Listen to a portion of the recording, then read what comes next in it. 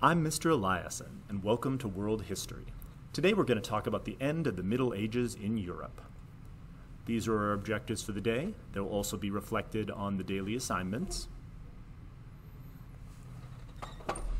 After the collapse of the Roman Empire, there were few organizing principles left in Europe. Of course, with the empire gone, Europe collapsed into somewhat of a, into a much more local governmental system, with really the only thing tying Europeans together was the Catholic Church. As you hopefully remember, Christianity spread throughout the Roman Empire after the reign of the Emperor Constantine. When the empire split into eastern and western halves under the Emperor Diocletian, the eastern part of the Roman Empire began to uh, develop their, their form of Christianity slightly different, whereas the Western piece continued to look to the Bishop of Rome and became what we know as the Roman Catholic Church. The Roman Catholic Church was organized very similarly to the Roman Empire. You can see there's a clear hierarchy with the Pope, the Bishop of Rome on top, followed by cardinals, archbishops, bishops, and then your local lay priests. The largest buildings that most people would interact with would also be their, lo their local cathedrals or their local churches. And they would often have the most impressive architecture and be the most, the most grand buildings that most people would ever interact with. Roman Catholicism also more or less organized all aspects of European life through the seven Roman Catholic sacraments. So, from the very moment that a child was born and baptized to the moment in which the priest performs last rites, all of the important rituals throughout a person's life would be organized by the Catholic Church. As this source clearly shows, the Roman Catholic Church, again, unified Europeans and brought massive wealth and power to the Catholic Church. The Pope, as we mentioned before, was the Bishop of Rome and the single leader of the Catholic Church. The Pope had a variety of different powers that he used in order to ensure that various uh, kingdoms did what he wanted. One of the most powerful popes in medieval Europe was Innocent III, who uh, rivaled kings as far as his political uh, authority. The symbol of the Pope is the keys of St. Peter, as you can see here up in the top right corner. And if the Pope uh, disagreed with something that rulers were doing, he had the power to either excommunicate or kick people out of the church, or even suspend the sacraments in whole regions of the church using something called interdict. These powers, and his power, of course, over your immortal soul, ensured that people would obey the Pope and that the Pope could be both a religious leader but also a major player in European politics. The Pope would also occasionally get involved militarily, calling crusades, which we'll talk about later. So, the Pope, incredibly powerful and important, and the head of the Catholic Church.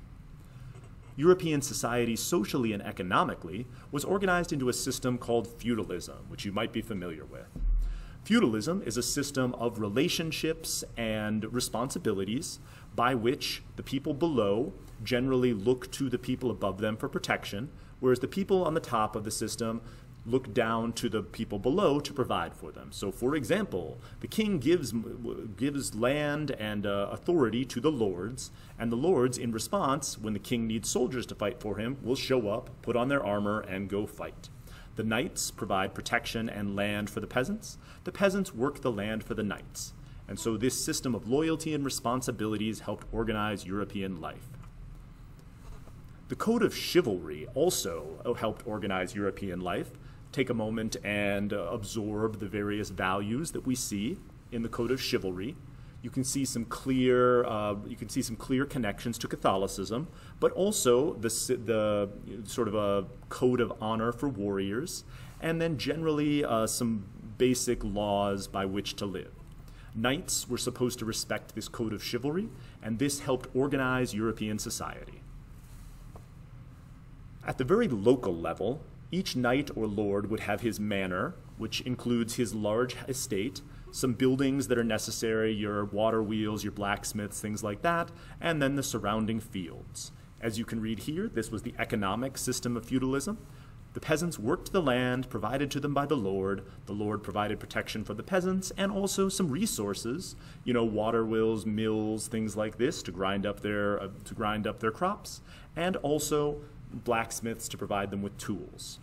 Most peasants would then be bound to the land as serfs, and so as a, as a noble would inherit his new estate, he would inherit the buildings on it, of course, the natural resources, and also the people, in order who would then work that land.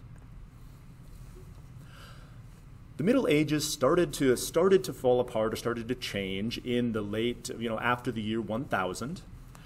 The Pope and a variety of other nobles would had called a series of crusades.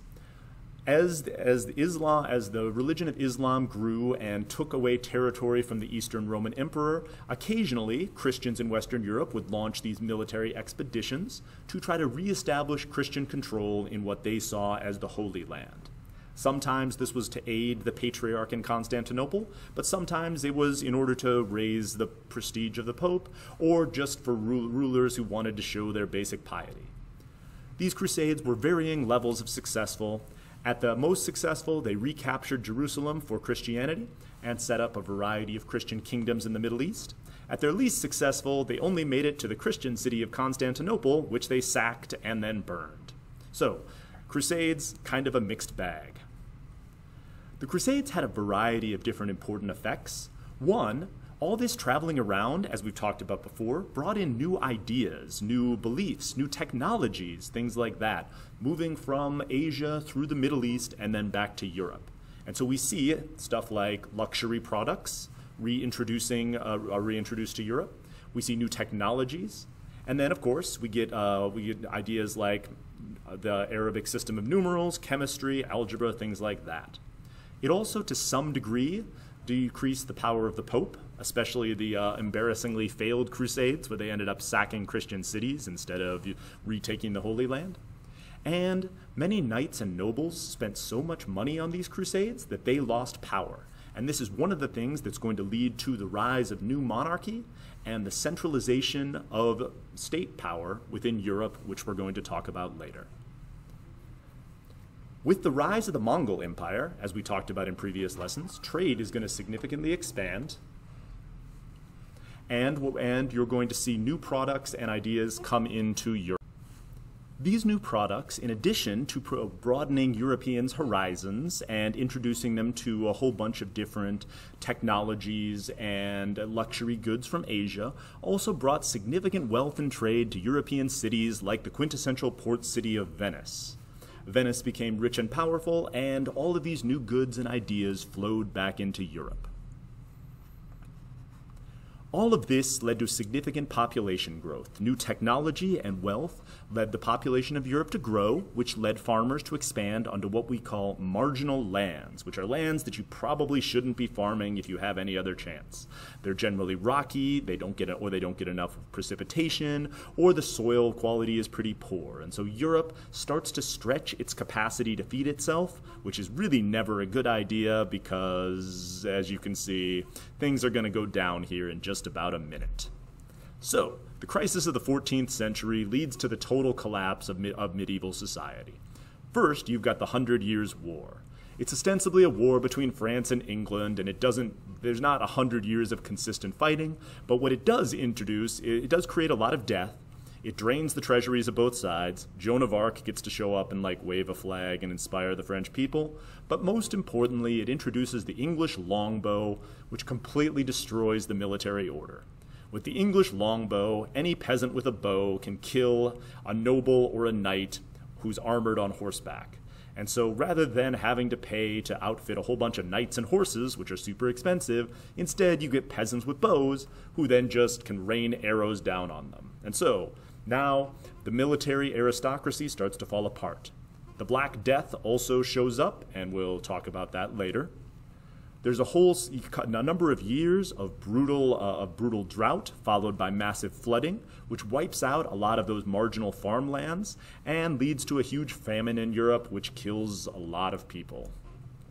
Then you've got the destruction of the legitimacy of the popes. The, the, the, the Great Schism of the church or the, the, the Avignon papacy leads, uh, so a disagreement over who's going to be pope leads to two popes, one in Rome, one in Avignon in France, both of them claiming to be the universal pope and the, uh, and the, the only representative of God. Then the church calls a council to attempt to, uh, to, to attempt to solve this problem and pick between the two popes. They end up choosing a third pope, and none of the three popes agree to step down. So this becomes really problematic because now you've got a whole bunch of people claiming to be God's divine representative, and they disagree with each other about a whole host of different things. So, what's the effect of this on Europe? Well, one, the Catholic Church loses a lot of faith and face because, I mean, they can't even figure out who the Pope is, which, you know, pretty embarrassing.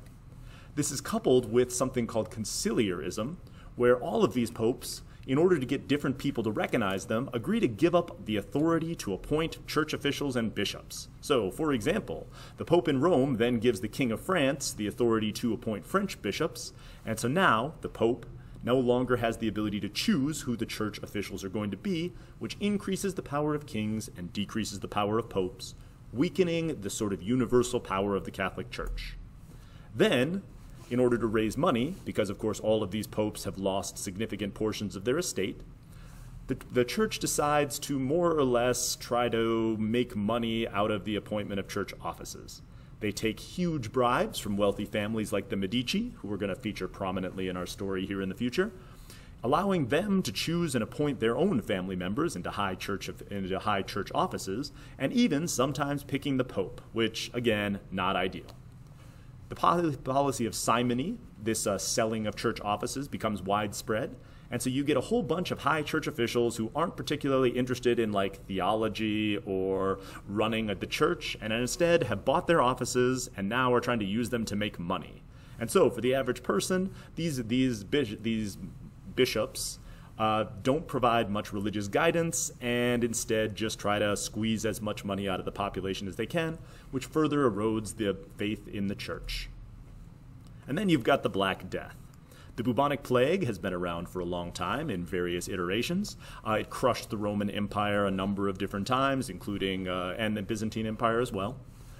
This iteration came into uh, Europe through Italy, most likely from fleas on rats, and it was incredibly virulent and deadly. So you start getting these buboes showing up on your, some of your glands, then you have breathing constriction, seizures, and then within three days you could go from healthy to completely dead. The bubonic plague wiped out whole cities and uh, led people to flee to, uh, to the countryside, leading to the further spread of the plague. And then, during the pneumonic phase of the plague, it went airborne and stuff really fell apart in the end, generally somewhere between a half, a quarter to maybe a half of the European population died of the bubonic plague, which, as you hopefully, as you hopefully know, will lead to societal collapse, regardless of all of these other crises. So, those are the various things that led the Middle Ages to end and transitioned us into the phase that we call the Renaissance. So, hopefully, you can answer these objective questions. Thank you for listening.